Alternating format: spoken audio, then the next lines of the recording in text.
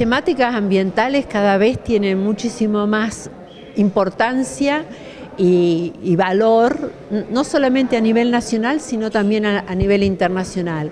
Y hacer festivales de cine en los temas ambientales que le interesa a la ciudadanía a mí me parece sumamente acertado porque la diversidad de nuestros ecosistemas y la diversidad cultural que tiene no solamente nuestro país, sino toda América Latina, amerita que la ciudadanía lo vaya conociendo y se vaya apropiando de estos temas para defender realmente y preservar, en este caso que es hoy vamos a hablar de bosques nativos y de todo lo que el bosque nativo brinda a la sociedad argentina, yo creo que es muy importante participar y lograr la discusión con la ciudadanía. Este mm, eh, corto que vamos a ver hoy eh, trata en particular sobre productos forestales no madereros, que es un programa de la dirección desde hace muchísimos años.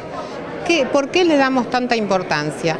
Porque nosotros creemos que el bosque tiene que ser protegido, pero también tiene que ser productivo para albergar tantas comunidades como alberga que puedan este, disfrutar también de la producción del bosque. En una época que está asignada por la crisis ambiental y por la crisis social, eh, que cada día se la vincula más a la quirisis ambiental, este, que se organice un festival de cine medioambiental es una cosa realmente muy importante y está reflejando ese proceso. Normalmente cuando uno ve un ecosistema o cuando la gente del sector productivo ve un ecosistema, lo que ve es el suelo para hacer agricultura o ganadería, o ve la madera de ley y, para hacer eh, instalar aserraderos, pero no se ve.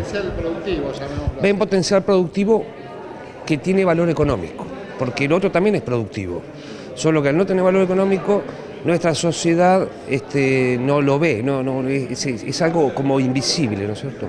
Y bueno, este documental trata sobre esos bienes y servicios invisibles, pero fundamentales para la sociedad.